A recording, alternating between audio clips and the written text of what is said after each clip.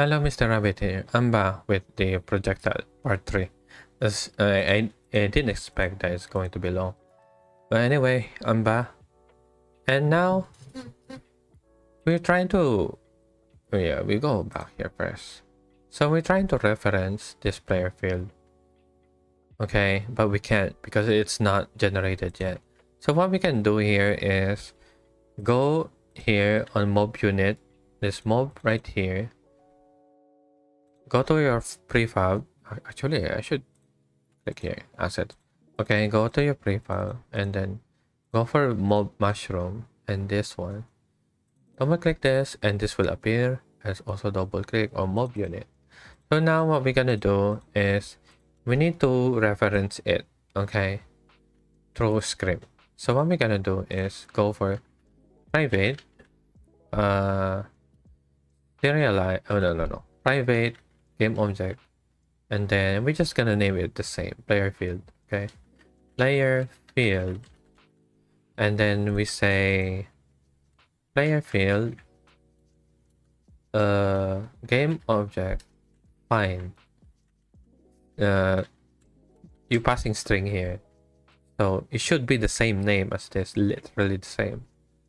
So to be sure, I'm just gonna click here and then F2 and then and then Control C for copy and then copy paste it here.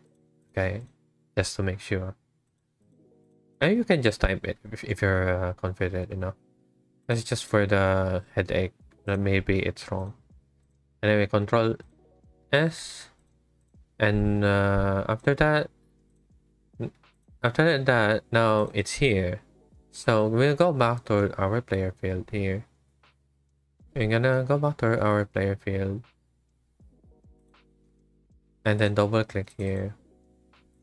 You see that we make it public that this one get get unit. We want to get it pretty much. Okay.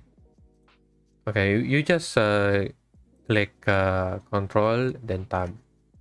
Okay to go back to your previous script so it's here to our mob unit. Or if you're getting confused we just go with it manually okay? Go back to our mob mushroom here and also this one okay? And then after that we're gonna go and player field. And then dot uh get component, the player field, then that one, arrow, and then I forgot what it's called. We call it arrow, but there are parentheses, close parentheses, dot get unit. Okay, now we have the unit. So game. This is this unit is the origin. Okay, the one that was going to cast to this mob. Okay. Now we need to go back to our game gamecaster. Okay. Oh, it's already here. But we just, I'm just gonna go here. And okay. And then click here gamecaster and then double click gamecaster. So you see this parameter have an origin the one of casting and then the target. So what we're gonna do is we need to get the game caster, this one too. Okay. So what we're gonna do here is go back to our mob unit and then by private game object and then the game caster, this one. So game caster, it should be the same. So game actually you can you can name it whatever you want, but it's better to be descriptive, right? So game game underscore caster. Okay. And I'm just copy paste this one. Okay. And then copy paste copy this and paste it here. And then to make sure, yeah, it's the same. I'm just copy it here. Okay, now we have it. Now after that, we're gonna go for game caster. And then that get component, game caster. I did be able to just go uh, if you the reason why this working right here this is a script. Our script is the same as this one. Right same as this is the name of the game object.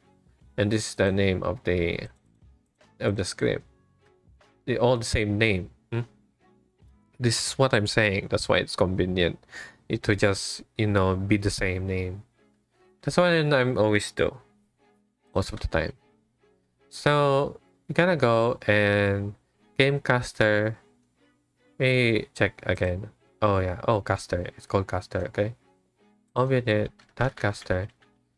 So this caster will need the, the one that is casting and then the target. The target is this one, right? So what we're gonna do is just uh, erase this column, cut this here. This is the caster and the, the origin of the uh, the projectile, okay? And then this is we're gonna pass this game object, this mob right here. Okay, pretty much. Okay. Now we control save and go back to Gamecaster. Right now it's not doing anything. We need to initiate it. Okay. Initiate it and also put it on the world uh game object under it so we need to reference it. Mm. So serialize field, private, game object, and then world. Okay. And then I tend to forget it. So I might as well do it now. Reference it. Now we go to our game caster and then reference this one. You see that? It's empty. This one, this world right here. Oh wow, it's oh wait what? Oh, I mess up. I mess up. Oh, no. That game world, game object. I'm wondering why. That's the reason. Anyway, that's it. Now we reference it, grab it, then drop it here, then go back to our script. And now we are going to generate it. So instantiate then origin unit actually this is the one that uh, the one we're passing here first it should be the projectile okay but what we're gonna do first i forgot is we're just gonna make a game object game object and then call this uh setup this is how i do it and then equals projectile. Okay. This projectile have a script too, right? This one. Same name. So okay, what we're gonna do here is this uh, setup. We, we did pass this one, make this equal. So this game object setup is practically this one. Okay. So setup. We setting up it uh, we setting it up before we actually uh, spawn it hmm. so set up that get component projectile and also now if we go back to our projectile script we need to pass we need to fill this origin and then the target okay so we passing that so we're gonna pass origin and then this one, yeah. Okay. And then and just copy paste this one and then do this and do this. Yeah. Now it's okay.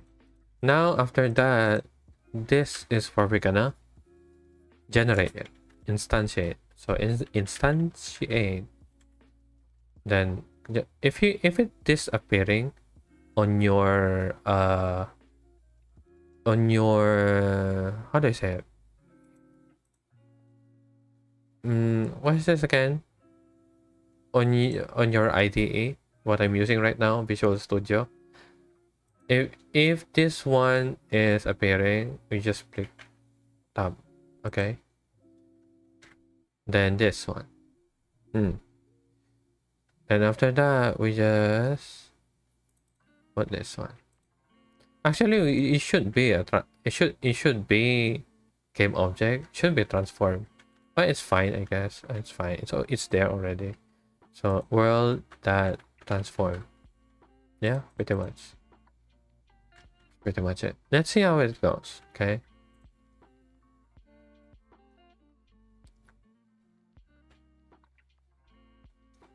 Hmm. So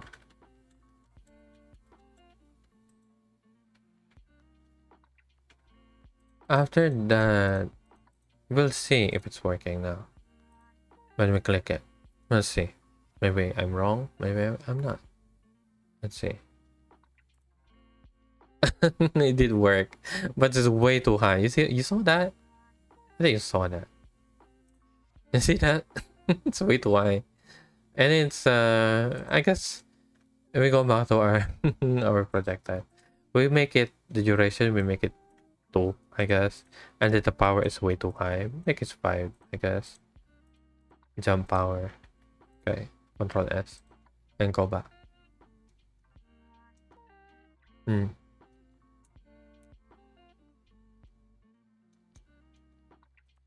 mm. Mm-hmm. So, yeah. This one I'm gonna use is are we gonna use okay, anyway I'm lost for a second there. Now let's see it's working see that oh oh it, feel, it feels like a firework, but it's working. See that? But you see the, the thing here. Uh, we need to make it when it when it's finally there, and we need we need it to expire because not it's not expiring right now. But it's working, right? It's really great. See that? It's really great. Okay. So what we're gonna do there is on it on uh, once it get to its destination, we want it to just explode. Okay. That's what we're gonna do. Now. So now we're going back to our assets here, prefab and then effects, then projectile. Then what we need to go for is go for projectile again. And then I guess for now we just go for this serialized field private game object.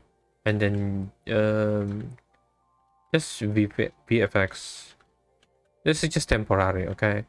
We go we go into change that afterward. I just want to make it work for now. Hmm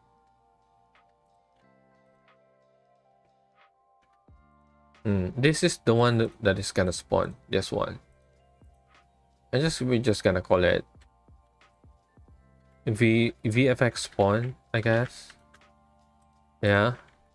And here is serialized field private. We call this generated. Uh oh wow, generated. Generated VFX VFX. Okay. Mm. That's the plan.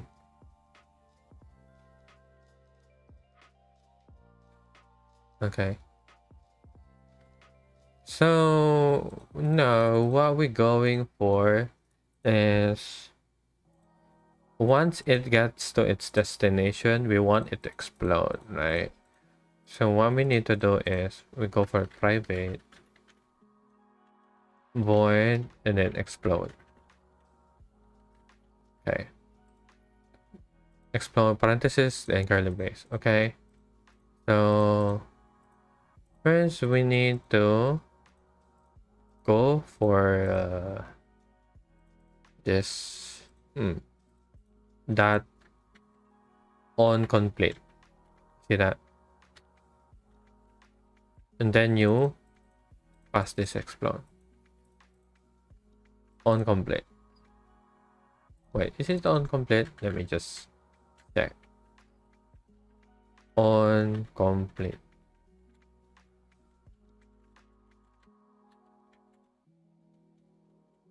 On complete. Yeah, this one.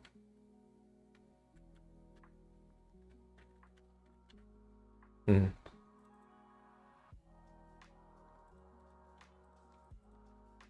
Oh, it's it's this one. Yeah. Oh, that's very confusing sometimes.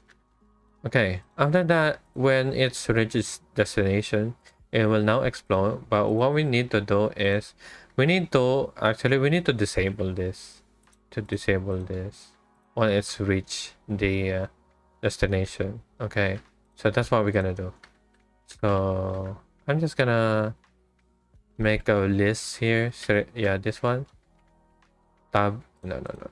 I'm just type all of it. Serial field, uh, private list, and then game object, and then uh, I just call it projectiles as it, I guess. Yeah, this one, Control S, and go for that. Hmm. And now we need to lock this click this projectile and also click this. And then click this main and then shift hold shift and then click this. And then hold uh, drag and drop it to projectile. So it's here. Okay. So what we're gonna do is we're gonna disable this Oh, okay, okay. We just make a loop. For loop. Oh, wow. What? What? It's shortcut. Yeah, that's what, this is what we're gonna do. For loop. Then projectiles. And I. Then set active. Set active to 4. Okay. And now we going to generate this one.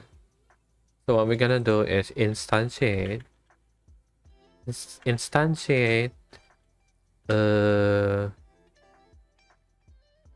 uh it's instantiate and then did pass this spawn and then go for comma new vector 3 and then quaternion identity and then go for transform. This transform right here is referring to this object. We want this, the one we instantiate, we want it to be the the child of this game object. Okay, that's what we want. And we store it. We just store it here. Okay. I'm just gonna just make it just to be sure that transform that local position to vector? I think not. There's a zero here right? Zero. Yeah this one. Okay. Let's see. Control save control save and then now it's here right? Okay okay this is cluster so much. I need to make space here. So we need to put space here. And then yeah type this and then just copy and paste it. So it does so it's not confusing. Okay control s. Because it's way too near to each other. It's very confusing now Okay, so what we're gonna do here is click to our assets here and then go to our Travis. No, no, not, not Travis, not prefab effects and the one we did before, this one. So we just drag it to our VFX point, that one. Actually, this one generated, we don't need it to serialize. You don't want, you don't need to see that. So Control S. fine. It should be fine. It should be fine now. Let's see now. It should be fine. And also, when it explodes, if we want this game object to die, uh, let's say 10 seconds from now, destroy it. We want it to destroy, not die. Very violent. Just put it like game object uh 10 yeah destroy this game object. Upon explode. After 10 seconds. Okay. See let's see if it works. If it's not well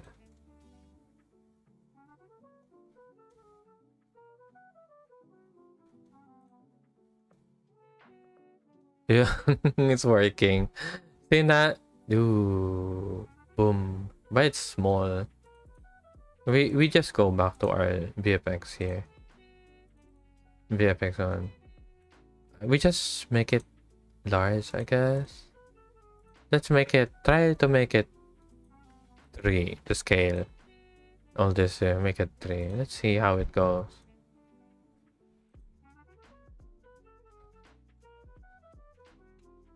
Works now. But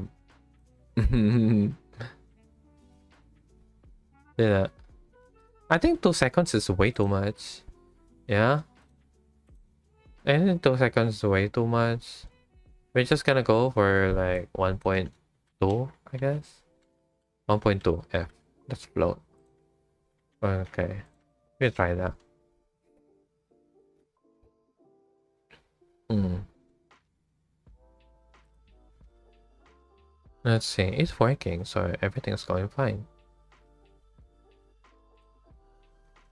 Boom. It's working. See that? But there's no castings, there's no casting animation there. That's what we're gonna do next. it works. Bam, bam, bam, bam, bam, bam, bam, bam. Hmm? And just I can spam it. It's fine. You see that? it's very easy, right? Mm. Anyway, thank you for watching. I'm going to be uh, gone for now. Thank you. If you want to support me, just refer on my Patreon or share my video. Thank you. Thank you so much.